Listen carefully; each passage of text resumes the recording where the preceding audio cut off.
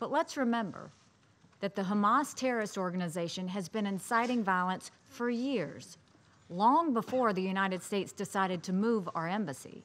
No country in this chamber would act with more restraint than Israel has. I thank the representative of Kuwait for his statement. Importantly, moving our embassy to Jerusalem also reflects the reality that Jerusalem is the capital of Israel. It has served as Israel's capital since the founding of the state. It is the ancient capital of the Jewish people. There is no plausible peace agreement under which Jerusalem would no longer remain the capital of Israel. Hamas, which has controlled Gaza for the, over a decade, must not use the protests as cover to attempt to place bombs at the fence and create provocations.